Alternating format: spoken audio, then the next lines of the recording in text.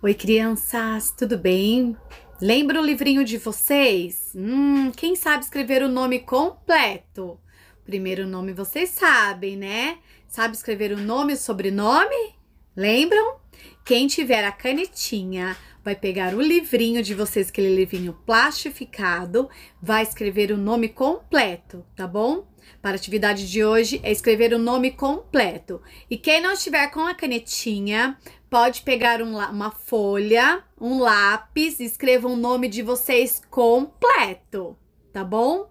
Pode olhar no livro ou não, não precisa nem olhar. Quem souber não precisa nem olhar, tá bom? Escreva o nome completo, porque a gente precisa saber escrever o nosso nome, não é verdade?